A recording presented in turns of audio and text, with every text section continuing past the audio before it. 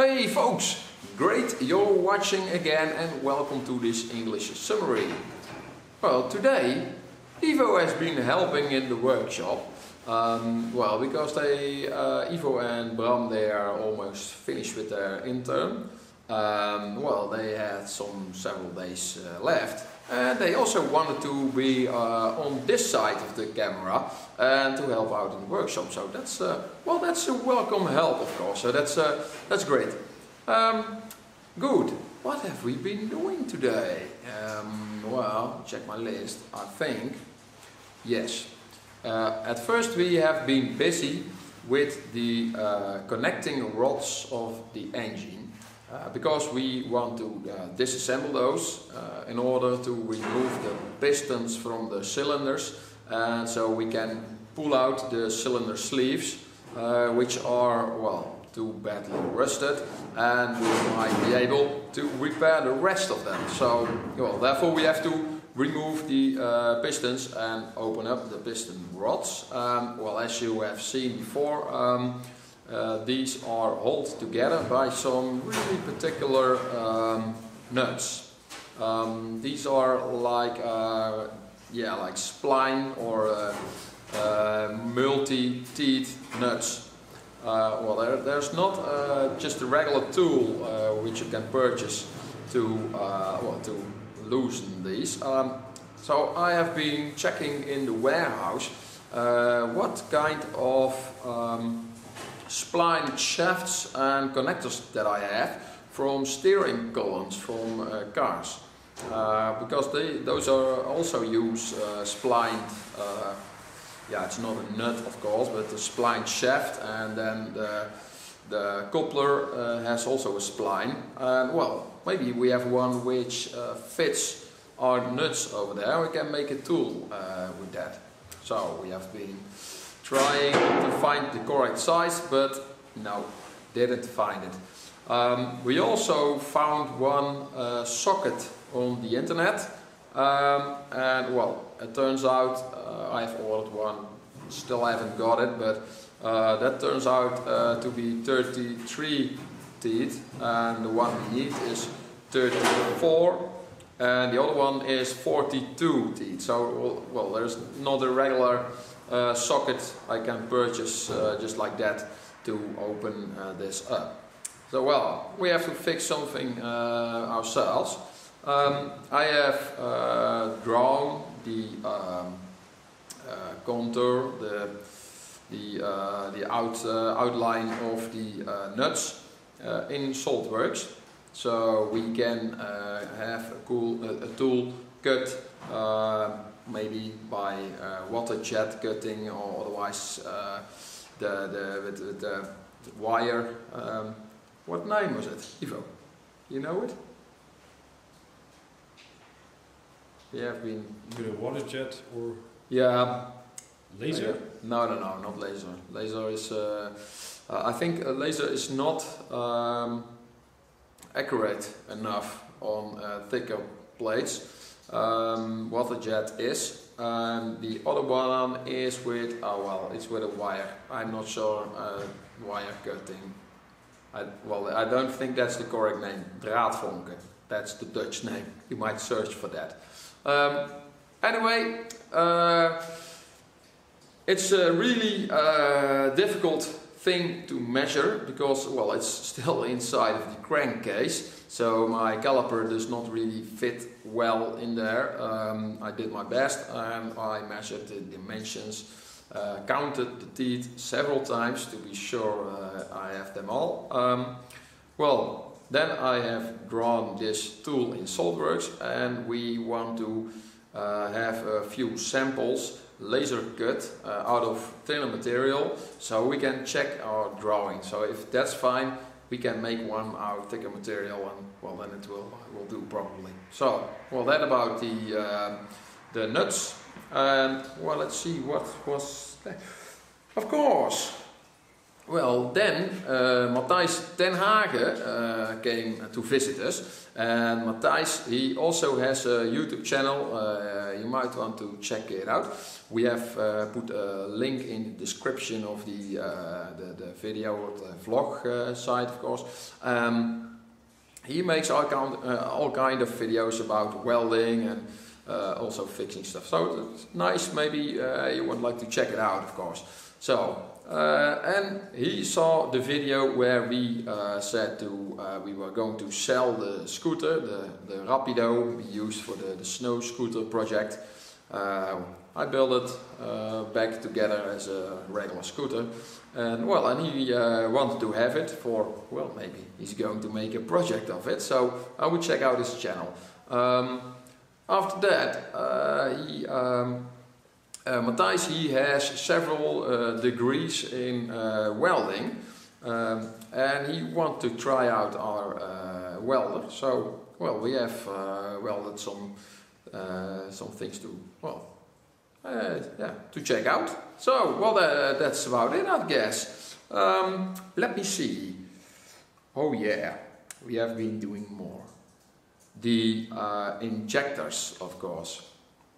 Uh, the injectors, uh, I had put them in solvent in order to uh, dissolve the clog from the nozzles. Uh, they're clogged. Um, the, the spray pattern is not not good, so we have to clean them. I don't have an ultrasonic cleaner that might help, but um, I wanted to see if we could use some things we have over here. And then one of you said you should put them in brake fluid because, well, brake fluid is very aggressive and maybe that solves the, uh, well, the, the, I'm not sure what it is, coal, I guess, but it also can be rust and then it will be uh, harder to, to get rid of probably. Well, so um, we tried this, uh, well, and when I saw the comment, I ran off the workshop. I took, I took three of those uh, injectors, I put them in brake fluid, uh, and now we tried one, but it didn't really help. Uh, well, they're still in there, so maybe uh, we can try it later today, so that will be tomorrow for the video. Uh, well, it was a good idea, but uh, well, it, it, didn't work also. Um, okay, good.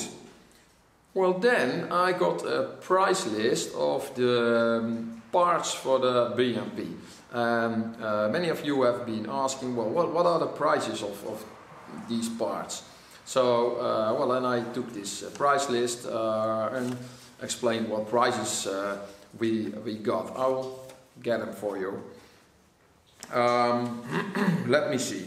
Uh, a set of fenders uh, is 1000 euros. So that's, those are the, uh, the skirts. I think uh, these are complete, so that's from the front to the back. Um, BMP has skirts on the sides, a little bit like the Type 69, only these ones are not from rubber. This is sheet metal pressed with shapes in it to get it more rigid. Okay, um, well then, the clutch plates, um, then we're talking about the friction plates. So not the metal plates, but these are the plates with the friction material on it. Um, those are 100 euros each. Uh, we need two of those. Then we have the, the belly plate, that's the one with um, yeah, with, with the shaft sticking out of it. Um, what's that's the the end plate? The pressure plate. I think that's the correct name for it. Um, that's 100, um, no, 250 euros. Um, we need one. Then we have the intermediate plates. We need one of those for the clutch. Uh, this is 150 euros. Um, so well, that's that's for about the clutch. Mm, then uh, we also got some track connectors and track screws uh, offered. Um, the connectors, you have the track plates, uh, which contain the track pins, and the track plates uh, are held together by the connectors, and those are the small parts uh, on the outside, on which also the sprocket hooks onto. So these connectors are 20 euros each. Uh, but lucky enough, we don't have one which are missing, but we have one where, where the track screws are missing. Um, track screws also have been offered uh, for 10 euros each. Um, so well, that's um, yeah. Well, we, don't we, we don't need a lot of them, so that's a good thing. Um, the gearbox shaft. Well, that's the the spline shaft, which is uh, a little bit worn out. Uh, is uh, 350 euros. So well, that's not too bad. Uh, that's I think that's a lot cheaper than a complete new gearbox. Uh, and I don't think we can make this part for that uh, amount of money. Uh, cylinder sleeves, uh, 250 euros uh, each. I'm not sure how many we need. For this we have to remove the pistons first and see which one can be repaired. We will need several probably. Well then, piston rings uh, are 20 euro each. Um, 18 in total is 360 euros for all piston rings of this uh, engine.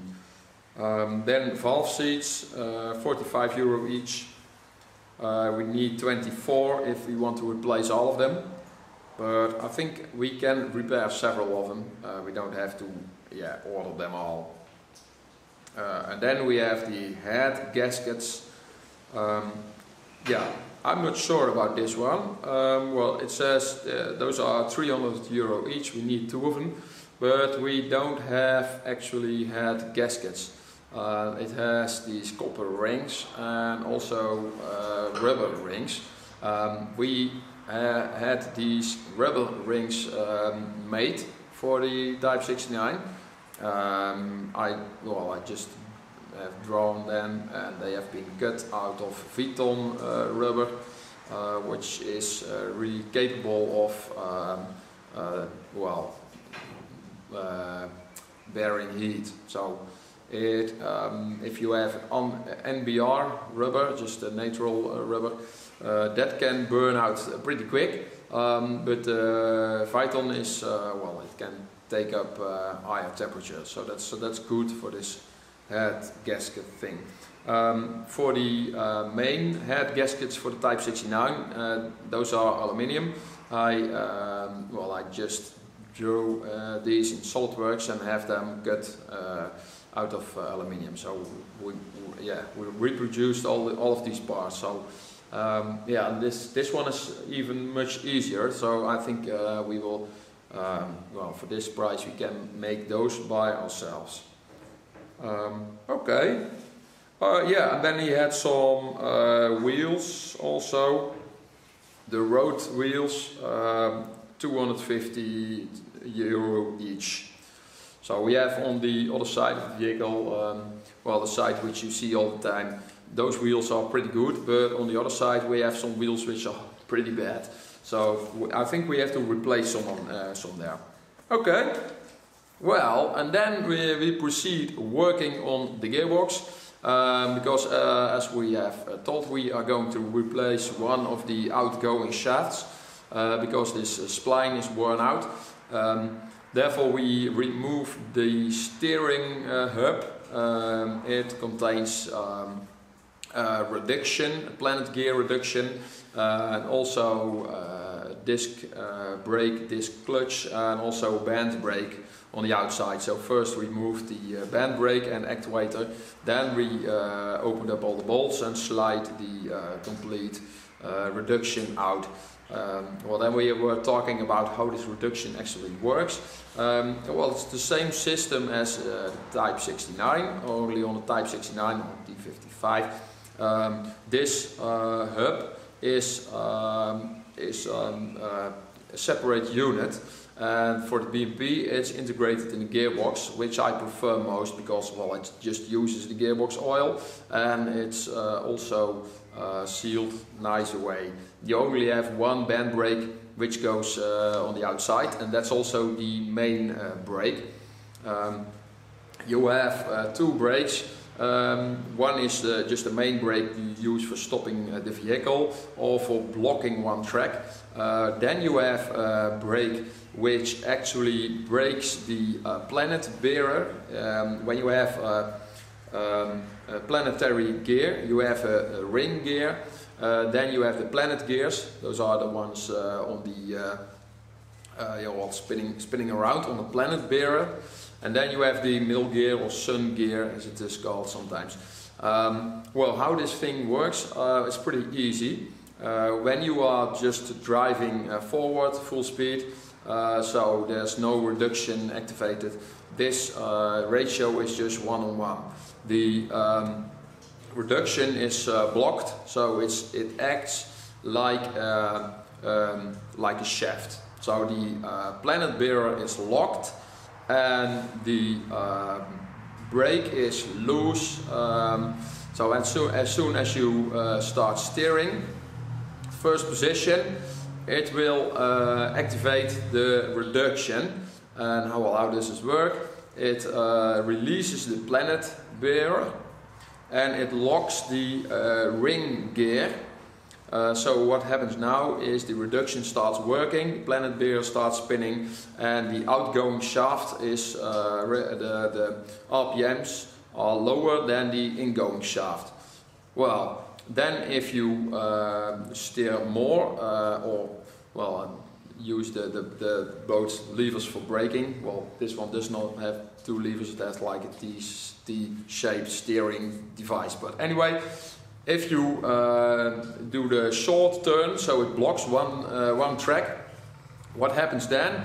If it uh, activates the band brake, so it blocks the outgoing shaft, and then it opens the clutch and it also opens this brake so the ring uh, wheel and the planet bearer are running free uh, so the ingoing shaft is completely disconnected from the outgoing shaft so the planet bearer is, is rotating um, but this uh, the force cannot be transferred to the outgoing shaft because this ring gear is also spinning.